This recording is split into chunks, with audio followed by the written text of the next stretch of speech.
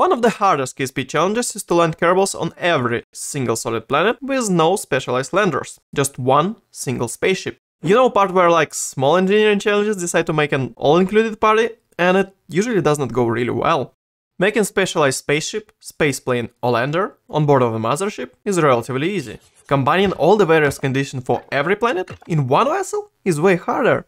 I'm talking about single Grand Tour vessel that is not skipping either Eve or Tylo. In this video I showcase starship design that able to operate in very different environments. This starship should have enough control in atmospheres of Kerbin, Laythe and Eve, to secure landings on Tylo and Moho's ship needs big enough thrust-to-weight ratio, good enough specific impulse to make an interplanetary transfers and orbital injections, and once you add like several Kerbals, big SRU and various utilities, there are like extra 10 to 15 tons of stuff to carry around Kerbal system. And to make my life even harder, this vessel have no launch system on Kerbin. So this is not a space shuttle, this is not even a space plane. This vessel is an SSTO or, well, SSTA, which is an official holy grail of Kerbal Space Program, a single stage to anywhere. Although this starship is capable to land anywhere with no staging, nevertheless EVE Atmosphere pose an extra challenge and requires staging to escape back to Kerbin. So technically it is single stage to anywhere, but several stages to return back from infernal atmosphere of Eve to Kerbin.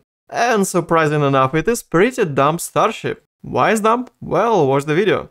There are a couple interesting low-tech solutions to challenges of this Grand Tour. This video is not only a mission report, this is a tutorial and guide of this craft. Craft that is publicly shared, so everyone can fly own missions, and dissect engineering behind this baby on its own.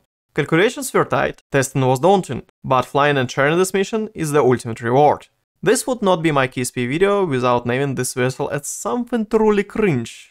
So rejoice, Starship Transport in Kerbal System. Sounds normal, uh, not really, let's shorten it up. It's simply short stinks. I bet spending some time on a grand tour will make those air filters a bit smelly and stinky. Smelly or not, this craft have started as an elegant space plane and slowly devolved into a pretty dumb starship. So let's start by analyzing this engineering journey, while actual grand tour journey is on the background. First thing to go in the elegant spaceplane were RAPIER engines, since they provide just nothing of value outside of Kerbin and Laythe. Taking a big SRU for a ride add an extra mass. And this was the first reason why wings just did not made into a final design. Wings are just a bit on the heavier side and add nothing of real value for majority of the mission. Wings add extra complexity of horizontal landings. Wings require more moving parts, and benefits are not so seductive. On the SRU side, one can use smaller refinery and smaller drills but this will need either decades to refuel or time warp exploits. And this mission honestly is about beating KSP1 in a proper manner with minimal amount of gameplay trickery. There is no real game design tricks outside of fuel tank clipping. And even then, this is more of my construction technique to get like specific visual look than anything really game breaking. Kerbin launch is probably the most important part of the mission outside of EVE escape and Laythe to wall transfer. If you can launch from Kerbin as an STO and still reach either Mun or Minmus, you have enough Delta V to just barely do every intermoon transfer in Jool system. Very good indicator. Fuel margins here are rather tight, and launch profile does not like any deviation. And while Minmus is very tempting as the first destination, it is not always the best first destination for a grand tour. Initial prototype required proper alignment with Minmus. Minmus burn can be as low as 950 meters per second, but extra angle can add over 300 delta V for a burn. Initial designs were landed on Minmus with proper alignment with only 20 meters per second left. But after redesigning engine layout, I was able to just squeeze enough delta V for Mun landing as the first stop. And as you can see, this landing was relatively close. Nevertheless, if you have better piloting skills, you can have up to 100 meters per second delta V left, and this apply pretty much for every landing during this mission. My piloting skills are definitely not something to brag about, I just tend to overcompensate with engineering part. Logistic-wise, this Mun landing would play a pivotal role further down the mission. But first, let's talk about propulsion of this vessel. Balancing engine layout on this vessel was a pretty interesting engineering challenge. On the one side, nuclear engines are the best ISP engines in the game, but they are quite heavy and have a dreadful thrust-to-weight ratio good enough only for places like Minmus, Bop, Pol and Gilly. They can work on bigger moons and planets as a means of descent, but for an ascent of fuel starship, extra TVR is required. At the same time, vector engines are complete opposite with very powerful thrust-weight ratio. Vector engines have insane attitude control, but they are not really so efficient when it comes to ISP. Aerospike engines are better, but not so powerful and lack attitude control just like a nuclear engines. As you can notice, Aerospike engines were placed pretty close to bow of a ship. First three iterations of this vessel were actually a VTOL spaceplane with three vector engines. Two vectors on the stern, one vector with hinge in the bow cargo bay, and two fixed nuclear engines in the stern cargo bay.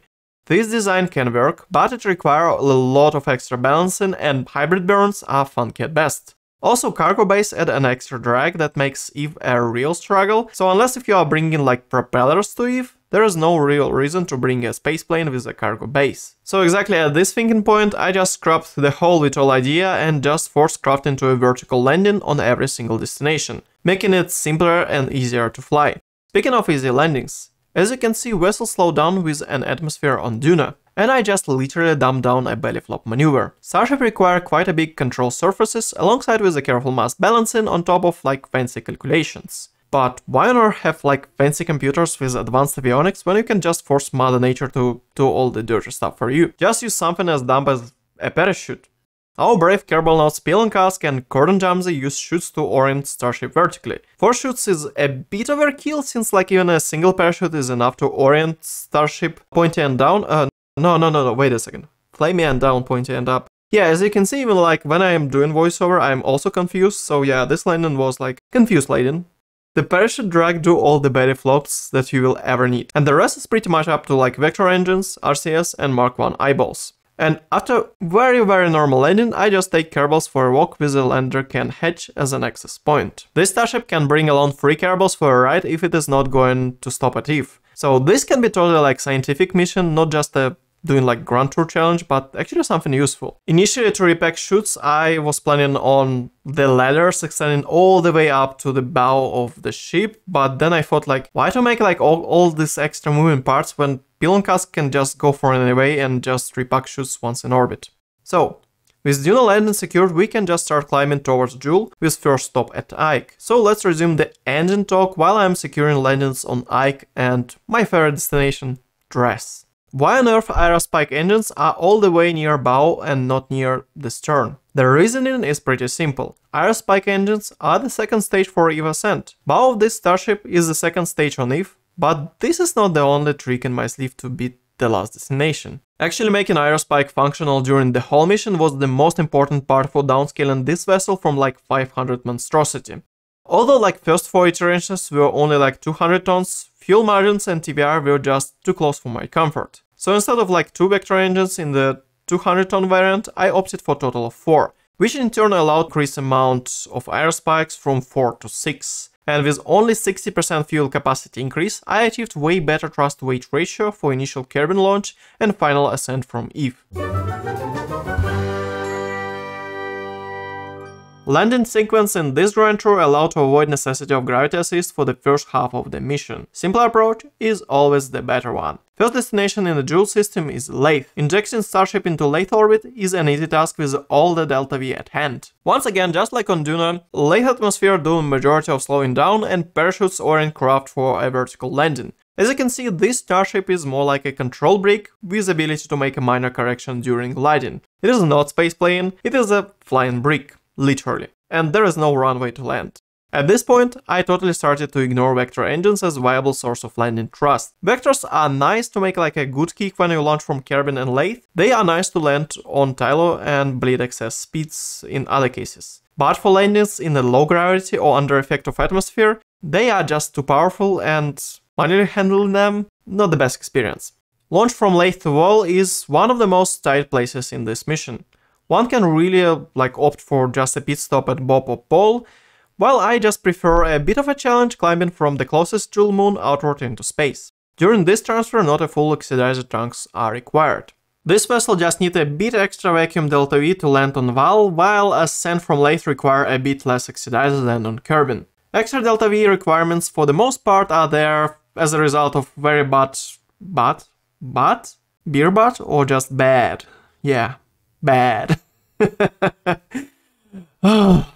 Wall and bad is just like tongue twister in this script, I don't know why. Right, thrust weight ratio on wall, val, val, uh, Right. Um, 400 milliliters of coffee later, I can now talk about wall and bad things and not bad things. So, thrust weight ratio on wall is just in this bizarre spot where like nuclear engines are not really good enough, but everything else is just not at your disposal after ascending from Laythe. So, first thing first, I just inject my starship at very low altitude orbit, and then I start doing a landing burn. And this burn is a bit counterintuitive. It is done with a dynamic angle. My TBR is starting at 1, uno, один, ну вы поняли, which is adequate only for rapid disassembly if approached with the standard methods. So instead of that, I am killing my horizontal velocity while maintaining relatively low vertical speed. Reducing horizontal speed results in high effect of gravity on the craft, and as a result higher angle of attack to compensate and align both forces. This is basically a method to land craft from a low orbit with very low TBR. If you are killing only horizontal speed from the low orbit, you will fall down with very high vertical speed achieved from the gravity, speed that cannot be dealt with your low TBR. And if you account for the gravity and start from the high orbit killing horizontal speed first, you will fight the gravity for very prolonged time due to low TBR and use all the available fuel before securing your landing. This approach is the best of the two worlds. You fight vertical speed for shorter time span, descending from the low orbit. But as a trade-off, you are just fighting horizontal speed for just a bit longer time span than usual for this orbit. And in a true Kerbal fashion, wall landing is secured with over 5 meters per second of delta V left. Just look at this like over-engineering things. Definitely budget is going not where it's supposed to be. After making wall stop, it was time to go for Tylo. Yeah, the most daring challenge in terms of the gravity. And if for wall I was relying predominantly on nuclear engines, high gravity of Tylo demand from this vessel good TVR supplied by Vector engines. For majority of escape from wall and for majority of Tylo injection, I am using all extra liquid fuel that I can. So once the time come, I am free from that weight of liquid fuel and have only normal rocket fuel to deal with the final bits of landing. For majority of descent I am using aerospikes as more efficient engines. Nevertheless, vector engines used in short bursts to bleed off excessive amount of horizontal speed at altitude checkpoints. Also using vectors in bursts allow to avoid instability since this vessel is not completely balanced for such a powerful propulsion in vacuum. And with quite fashionable zero fuel left, Tylo landing is secured. With three large moons conquered, it is only a matter of time before Jool 5 is done. Escaping from Tylo is always way easier than landing on actual rock. Bop and Pol are very tiny moons and only their like irregular orbits have some sort of a challenge. And since this starship have all the Delta V in the world, I just went for a both landing in true Rocinante fashion with straight direct to surface burns. And speaking of Rocinante, so there would be a torch engines in KSP2, there would be a new node system in KSP2, and we can actually paint MCRN colors why not? I bet they will actually have some funky reference to Epstein Drive or something. In any case, like using something more than like Mark 1 eyeball as a reference is always better. Alright, completing Jool 5 had its like tight moments, but actually next part of this mission is a bit harder.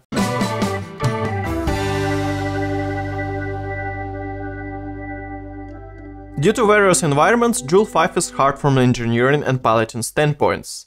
Eeloo, Moho and Eve require very careful logistics.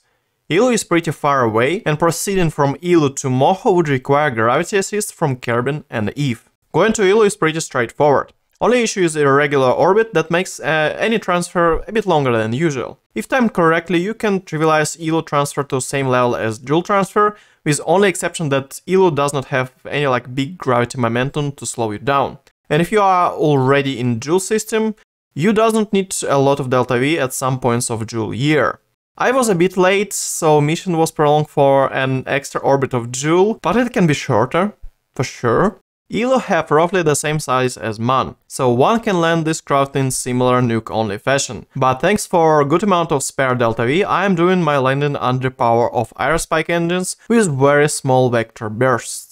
And after Eeloo mission, we need to go way back into inner Kerbal system. Obviously it requires either enormous amount of delta V, either solid heat shield to break from EVE atmosphere or some sort of like reverse pit stop. Stinks just does not have enough delta V and heat shielding is a bit questionable to survive like 3 to 4k orbital speeds.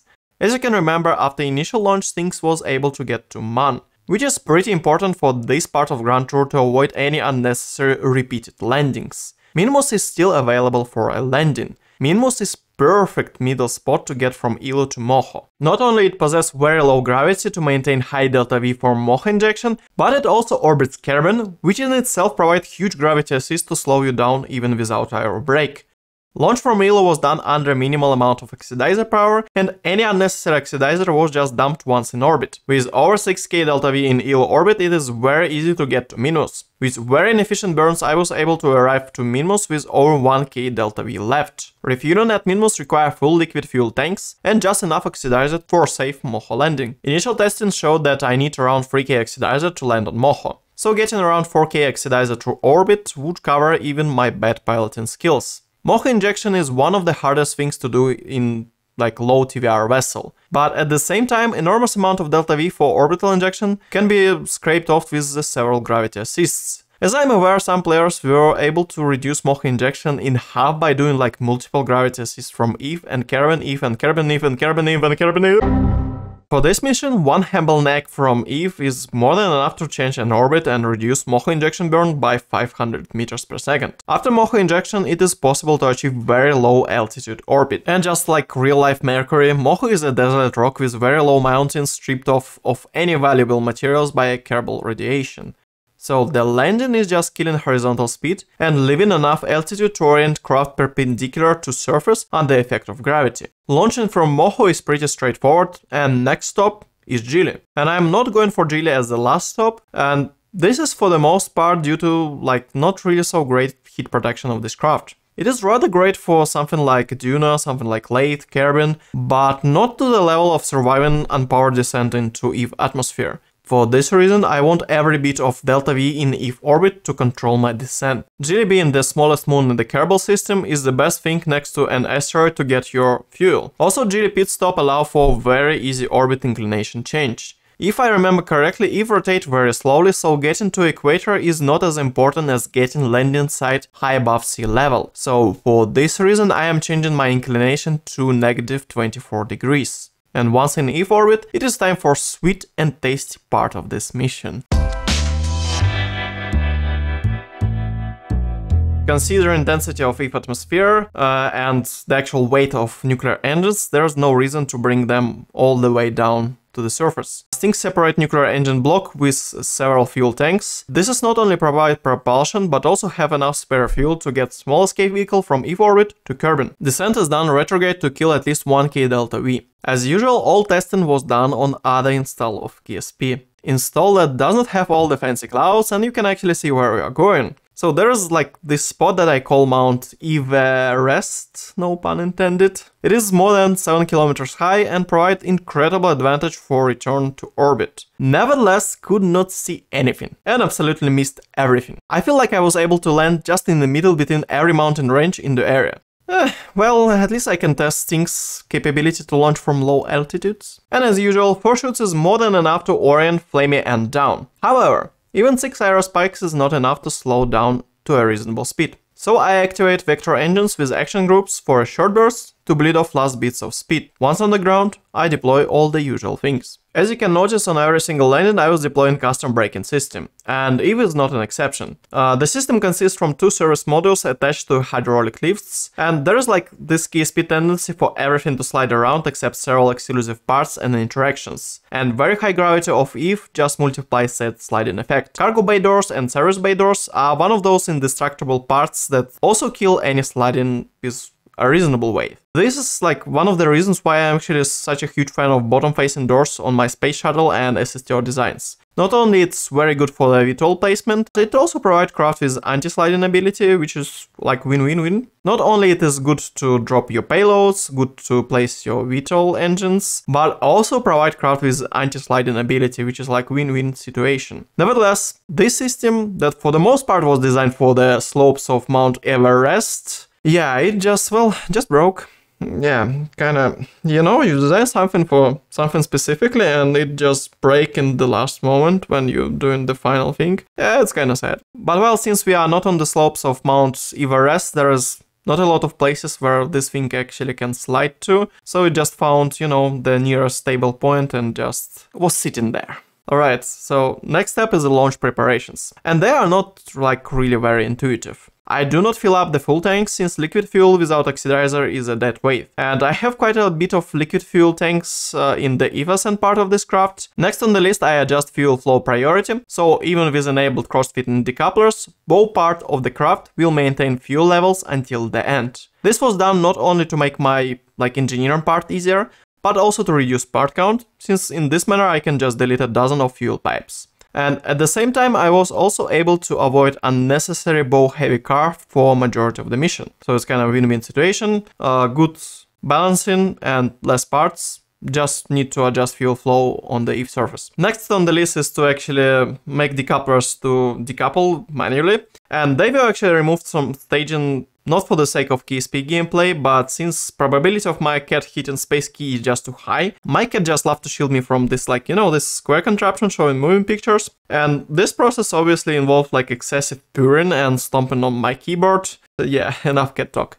Time to launch. Obviously there is no reason to lift refinery, drills, majority of liquid fuel tanks, landing gear, antennas, almost half of the oxidizer tanks, you know, like a lot of stuff. Oh yeah, like fuel cells, a lot of stuff. Landing stage have quite a lot of stuff clipped inside. And as everything with EVE in this mission, launch went a bit sideways, like literally. Probably like the assembly of braking system messed up with some internals and Craft was able to escape from landing stage after like several seconds of grinding. Uh, when you ascend from the EVE sea level, there is no like real reason to go at any angle, so one can just adopt radial out stability assists. Vector engines do the most important dense part of atmosphere, and once out of the fuel, bow section with 6 aerospike engines turn into the main ascent stage. Bow section of Sting still retains some RCS control, and two control fins also help you to slowly start gravity turn. Once proper trajectory outside of the atmosphere is achieved, it is time to lose the fairing and reveal the final orbital injection stage. And for unknown reason, actually I mismanaged liquid fuel levels, but well, even with